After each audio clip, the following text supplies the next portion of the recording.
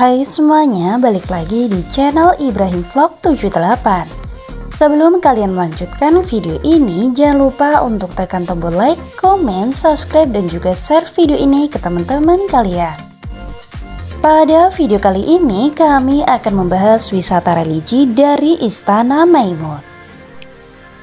Istana Maimun adalah istana Kesultanan Delhi yang merupakan salah satu ikon kota Medan, Sumatera Utara Istana ini terletak di Jalan Brigadir Jenderal Katamso Aur, Medan Maimun.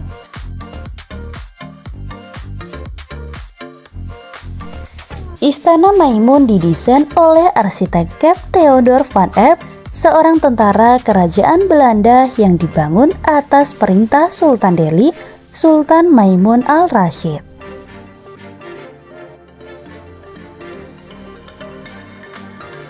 Pembangunan istana ini dimulai dari 26 Agustus 1888 dan selesai pada 18 Mei 1891.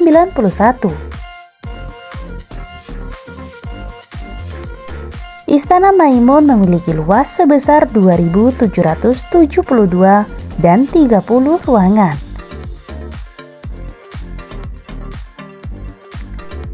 Istana Maimun terdiri dari dua lantai dan memiliki tiga bagian, yaitu bangunan induk, bangunan sayap kiri, dan bangunan sayap kanan.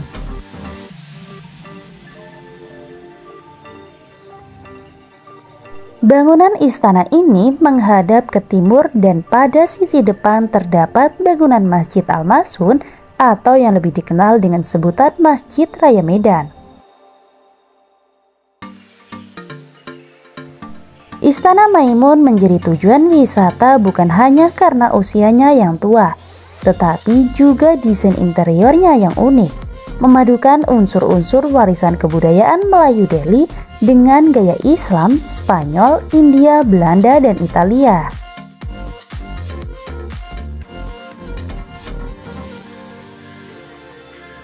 Namun sayang, tempat wisata ini tidak bebas dari kawasan pedagang kaki lima.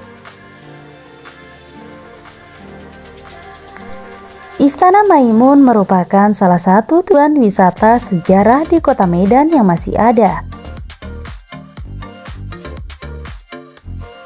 Tempat untuk mengenal istana yang dibangun di zaman Kesultanan Delhi ketika mencapai puncak kejayaan saat berada di bawah kepemimpinan Sultan Makmun al-Rashid Perkasa Alam Shah. Pada masa itu pula, tepatnya di tahun 1888, Istana Maimun dibangun. Istana Maimun saat ini telah menjadi destinasi wisata baik bagi wisatawan lokal maupun luar negeri.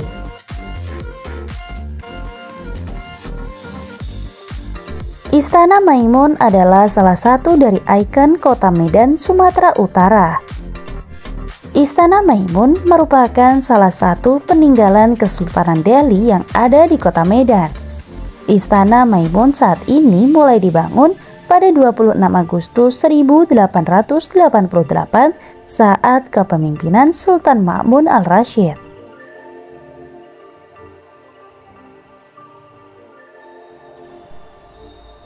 Bangunan ini bercorak Islam, tradisional Melayu dan Eropa Istana ini didominasi dengan warna kuning khas Melayu dengan 82 tiang batu dan 43 tiang kayu sebagai penyangga untuk memperkokoh bangunan.